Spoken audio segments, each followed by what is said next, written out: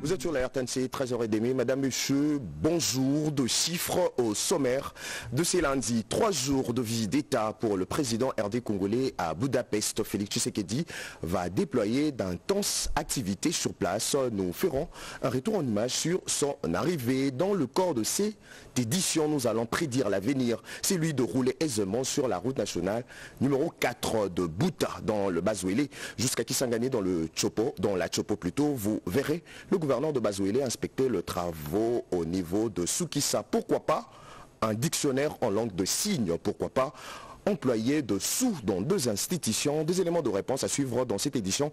Mesdames, Messieurs, voilà tout pour le sommaire. Ouvrons cette édition par les images de l'arrivée du président RD congolais à Budapest, une visite d'État de trois jours où le garant de la nation va déployer d'intenses activités sur place. Première visite dans ces pays d'Europe centrale effectuée par le chef de l'État sur invitation des autorités. Regardez.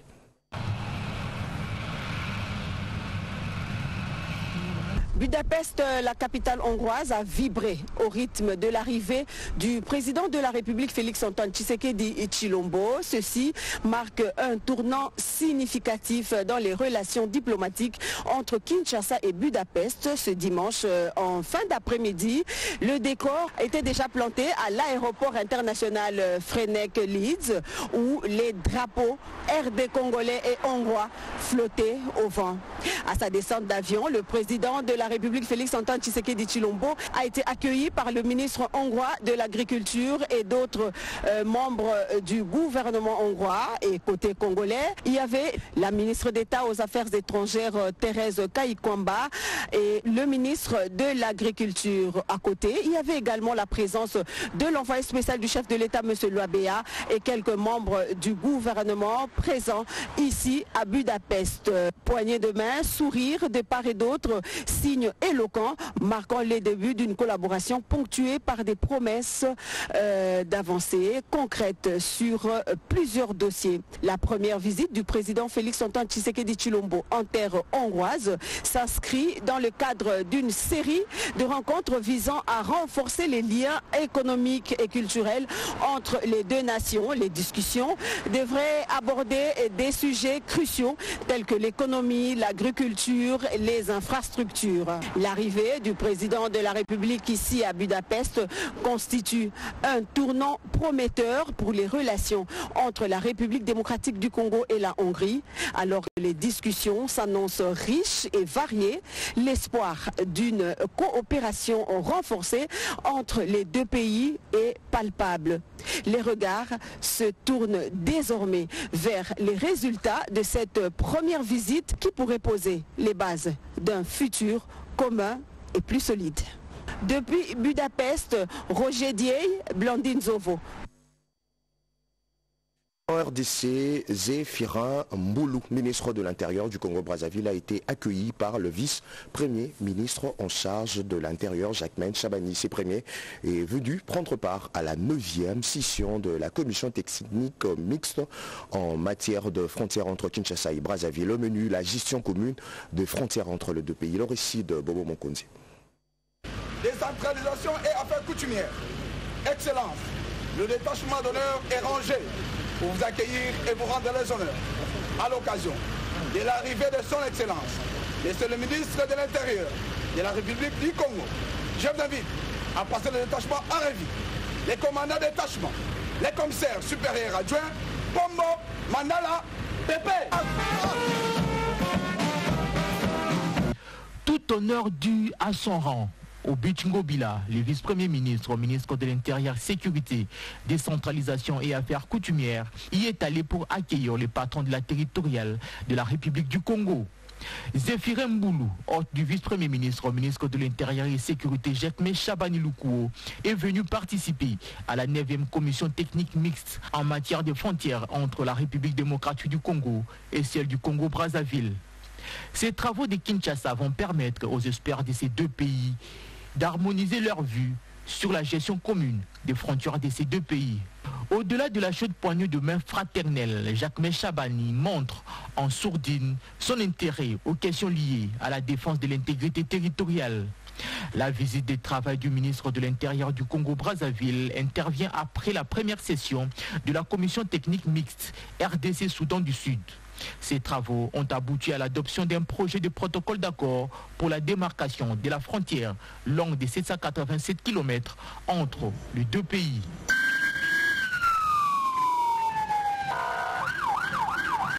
Rendons-nous en province. Le chef-lieu du Kassai central sera éclairé pour lutter contre l'insécurité lors d'un colloque de experts initié euh, par euh, l'association Bena Kananga. La vice-ministre de l'Intérieur a eu droit aux explications.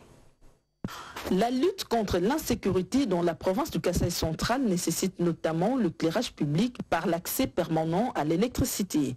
C'est dans cet élan que la vice-ministre de l'Intérieur, Sécurité, Décentralisation, Eugénie Lakamba, a été conviée à une journée de partage d'informations sur le projet de construction d'un mini-barrage Mbombo au centre-ville de Kananga. En présence des experts venus du Burkina Faso et la notabilité centre-kassaïenne, le directeur général adjoint des ANSER est revenu sur l'enjeu sécuritaire de ces projets d'électrification pilotés par le ministère d'énergie qui va mettre fin, entre autres, au phénomène vol à mains armées.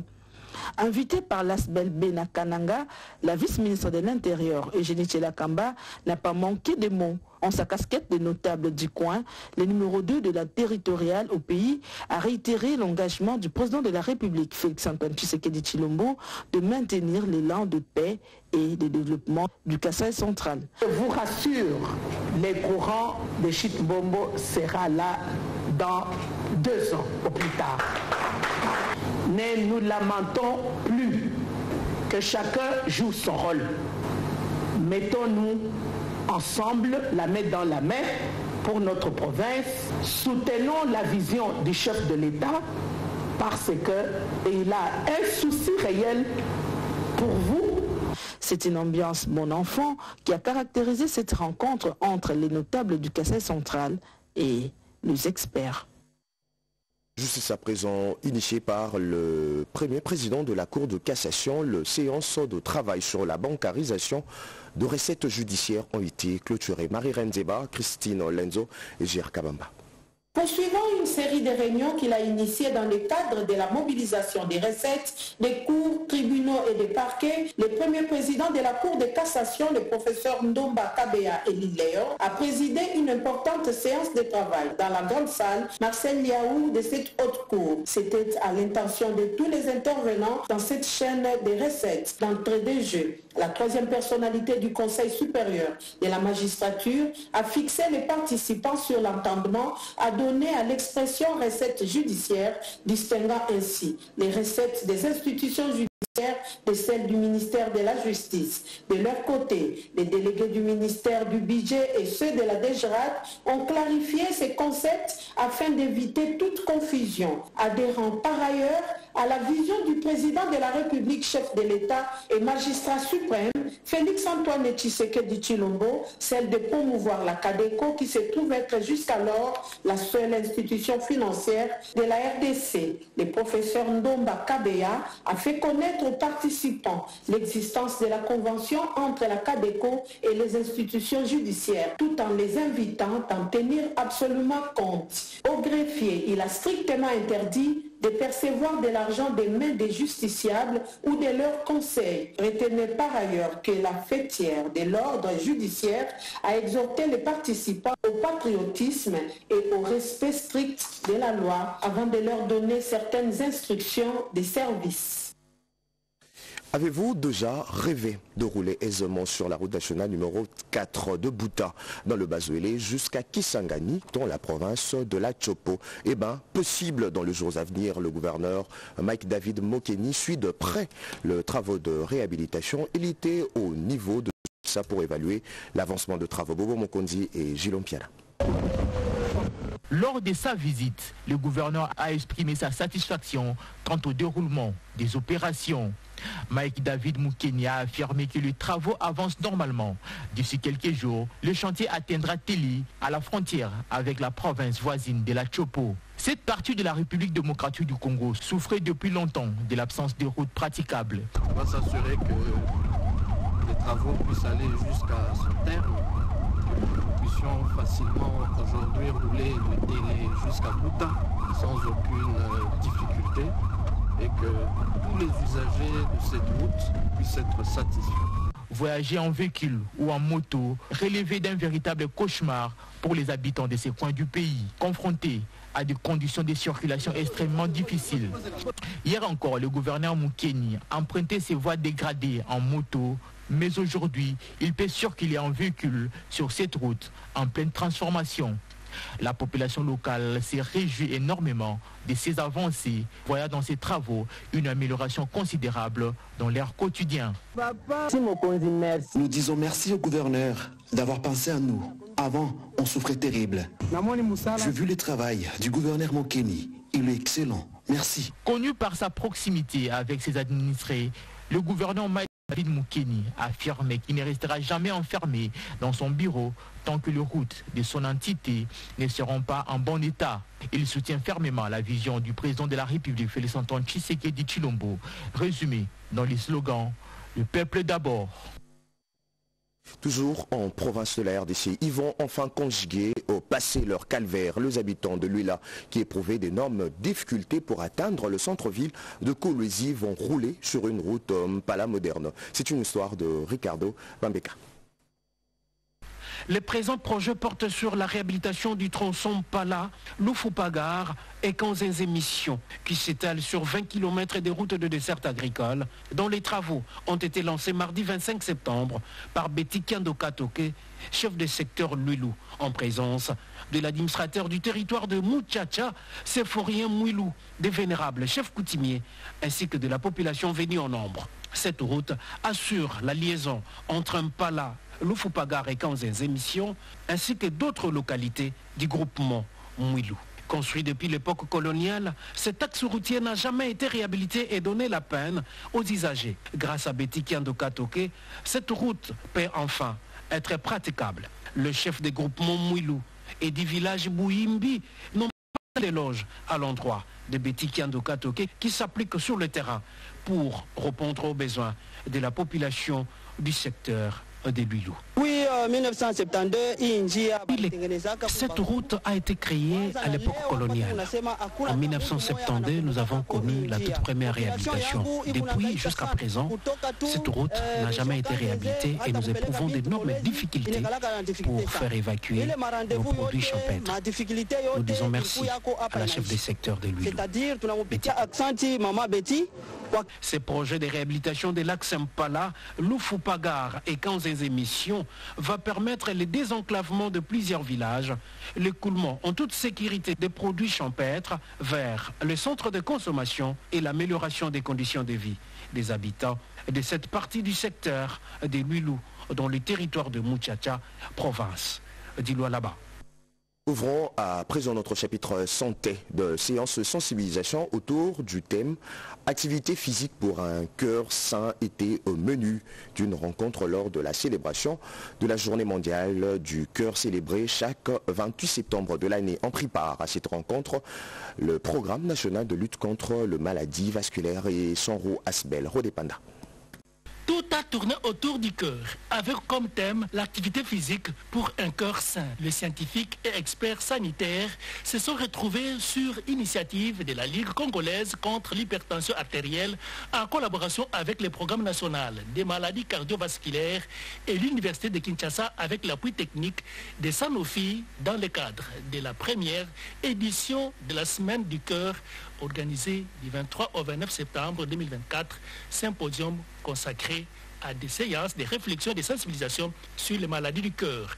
L'exercice physique étant indispensable et recommandé pour éviter les pathologies du cœur. Mieux, celles liées à toute la famille des maladies chroniques non transmissibles. Qu'est-ce qu'il faut connaître pour bien prendre soin de son système cardiaque et se prévenir Le président de la Ligue congolaise contre la tension artérielle, le professeur Mbouyamba, explique. Nous avons essayé par euh, cette célébration de la semaine de sensibiliser la communauté euh, aux bienfaits de euh, l'activité physique sur le système cardiovasculaire et même sur les maladies chroniques non transmissibles en général. Le directeur du programme national de lutte contre les maladies cardiovasculaires, le docteur Emmanuel Limbolé, pense qu'avec 30% d'adultes exposés aux maladies du cœur, il faut intensifier la sensibilisation. Il est donc très important de mettre l'accent sur la prévention. Et, et donc la prévention de l'hypertension artérielle, la gestion de l'hypertension artérielle permet de, de mieux gérer les complications de l'hypertension artérielle, parmi lesquelles les plus fréquentes, c'est l'accident vasculaire cérébral, l'AVC, et l'insuffisance cardiaque. Pour le professeur Dr Bouila, il faut bien écouter son cœur et son corps et en cas d'une crise, savoir secourir. Pour les scientifiques, un dépistage précoce vaut plus pour éviter le pire. Au Kassai, un dialogue provincial sur l'accès aux soins de santé reproductrice a servi de cadre pour sensibiliser la population. Le chapiteau de la plage voulée de Chicapa a servi de cadre au dialogue provincial sur l'accès aux soins de santé de la reproduction pour les femmes et filles victimes des mariages précoces et grossesses non désirées. Organisé avec l'appui d'AIPAS, ce dialogue a connu la participation des autorités politico-administratives, des acteurs judiciaires et des leaders communautaires qui ont tous souhaité l'applicabilité du protocole de Maputo dans la province du Kassai pour favoriser ainsi l'épanouissement de la femme et de la jeune fille. Jolei Bokele, vice-gouverneur des Kassai qui a lancé ses assises, parle des objectifs visés par ces échanges riches et fructueux. La province du Kassai, comme beaucoup d'autres provinces de notre pays, est confrontée à des défis majeurs en matière de santé sexuelle et reproductive. Les mariages précoces, les grossesses non désirées, les violences basées sur le genre constituent des véritables obstacles au développement de notre province et à l'épanouissement de nos femmes et filles. Le protocole de Maputo, ratifié par notre pays, offre un cadre juridique solide pour protéger les droits des femmes et filles. Il garantit notamment leurs droits à la santé sexuelle et reproductive. L'application de ces protocoles dans notre province est plus que jamais nécessaire. Les participants à ces dialogues se sont appropriés du protocole de Maputo et promettent d'en faire une large vulgarisation. L'accord de Maputo doit être vulgarisé dans la ville ainsi que dans les territoires. Toute la population du Kassai doit être informée pour que l'accord de Maputo, surtout en son article 14, doit être appliqué dans sa généralité dans la province du Kassai. Ces titres avant de clore le chapitre santé, une session de formation sur la clarification de valeurs et transformation d'attitude face à l'avortement conformément au protocole de Maputo a été organisée à Chicapa. Les autres détails avec Franklin Claire Calombo. Clôture vendredi à Chicapa d'un atelier de renforcement des capacités de relais communautaires organisé par l'ONG international IPAS RDC sur la clarification des valeurs et la transformation d'attitudes face à l'avortement. Il était question d'outiller le relais communautaire parce qu'il joue un rôle crucial dans la sensibilisation et comme vous le savez, les relais communautaires sont des acteurs de confiance. Sont enracinés dans leur communauté, ce qui facilite l'accès à l'information et réduit les barrières culturelles et sociales grâce à leur proximité. Maintenant, cette population peut être rassurée parce que les relais communautaires a assez d'informations, autant sur les conditions de forme et de fond pour qu'une grossesse puisse être éligible à un avortement sécurisé, mais aussi sur les structures ou les lieux où doivent se réaliser ces avortements sécurisés. Cette formation tombe à point nommé dans la ville de Chicapa où l'on enregistre par ces temps qui passent beaucoup de cas d'avortement non sécurisés, notent les participants à l'issue de cet atelier. L'avortement sécurisé selon le protocole de Maputo, euh, dans son article 14, euh, il est autorisé ici en République démocratique du Congo, mais dans les conditions ci-après, inceste, violence ou lorsque euh, la grossesse met en danger la vie de la femme. Renforcer le mécanisme d'orientation et de soutien des survivants des violences sexuelles à Chicapa conformément aux exigences du protocole de Maputo qui valorise l'avortement sécurisé et l'objectif général visé par cette formation.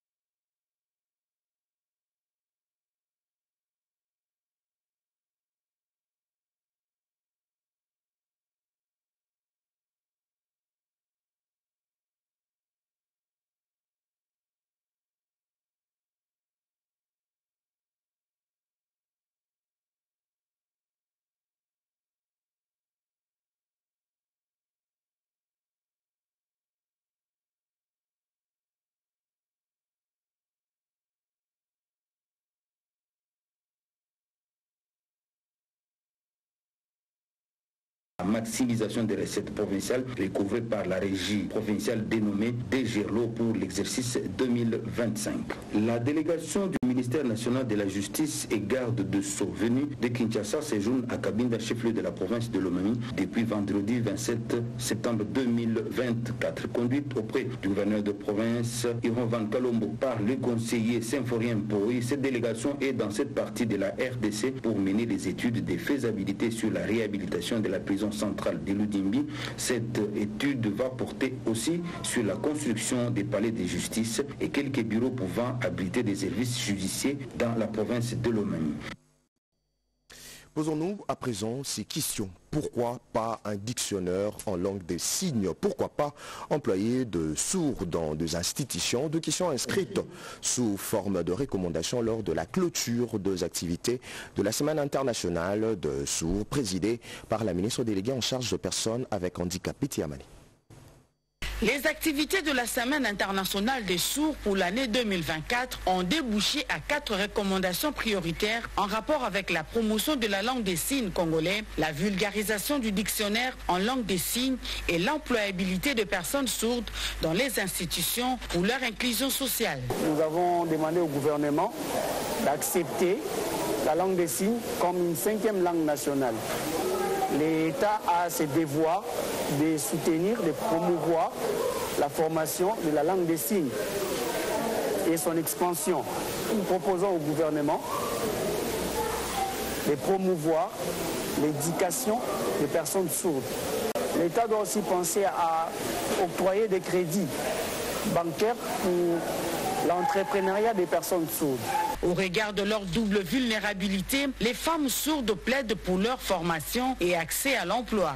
Nous souffrons beaucoup, nous les femmes sourdes, la plupart ne savent pas lire. Nous demandons à l'État de pouvoir appuyer, lutter contre la pauvreté et le chômage des femmes sourdes.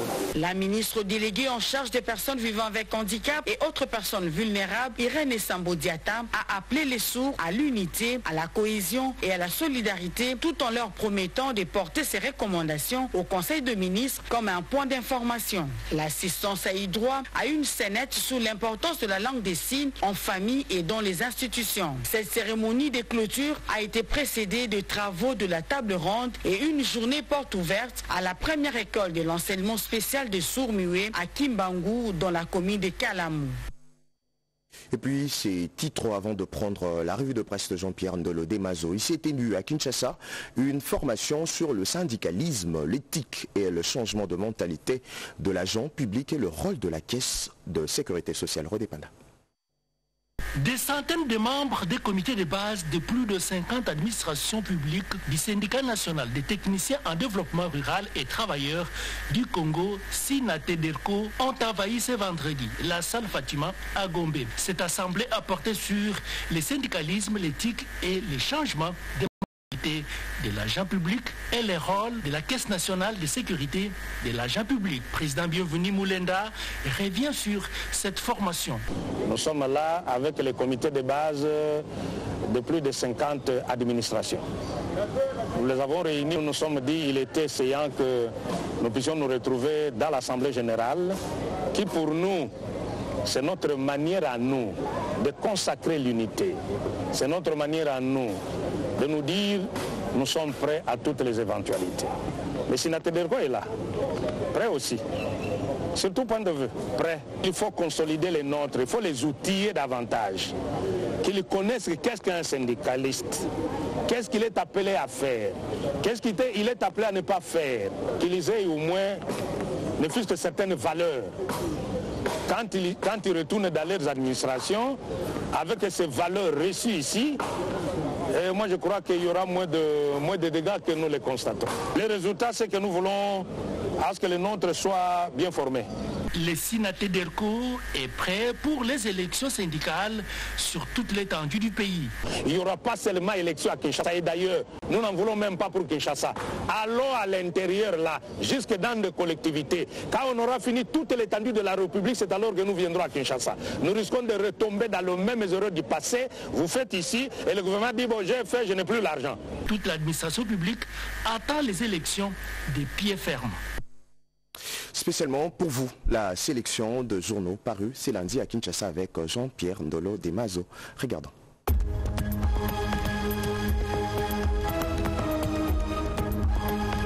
Bonjour mesdames, messieurs et bienvenue à cette revue de presse. Congo Airways, 1,41 million de dollars évaporés.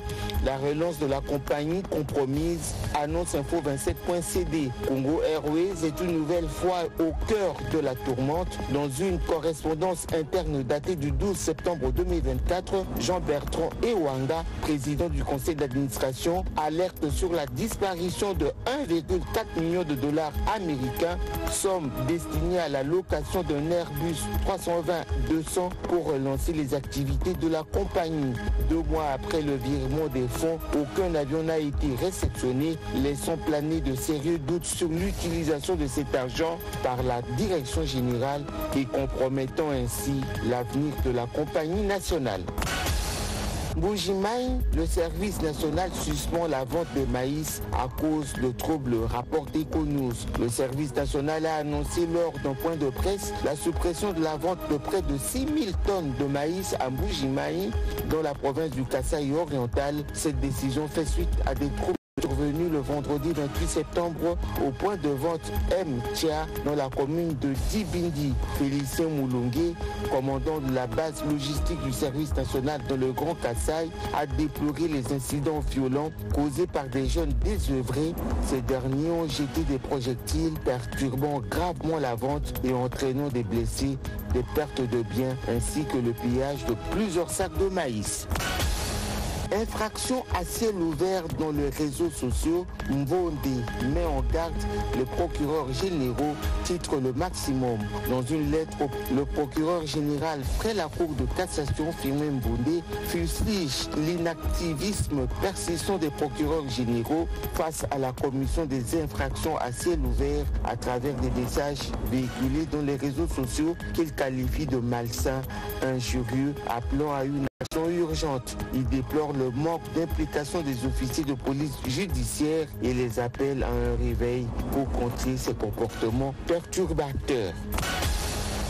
Vibrant hommage à Félix Tshisekedi depuis les États-Unis, RSP Miguel Cachal Katemp, primé par le magazine Forbes parmi les meilleurs managers africains de l'année 2024 en RDC selon la prospérité. En séjour aux États-Unis sur invitation de magazine Forbes qui a suivi de près ses activités professionnelles, le directeur général de l'autorité de régulation de la sous-traitance dans le secteur privé, Miguel Cachal Katemp, a reçu un diplôme de mérite décerné par ce magazine américain pour récompenser son leadership exemplaire manifesté dans le domaine de l'entrepreneuriat en RDC, plus précisément dans le secteur de la sous-traitance où des entrepreneurs congolais jadis totalement absents commencent à acquérir des marchés réels dans les entreprises principales. Voilà tout pour cette édition. C'était un journal de la rédaction écrit par Divine Béa Déborah Kobe, Maria Bembo et Plamedi Kabanga, stagiaire de l'UNICIC ex-IFASIC. L'actualité reste en continu. François Lingala, on qui sur la RTNC et la RTNC.cd. À demain.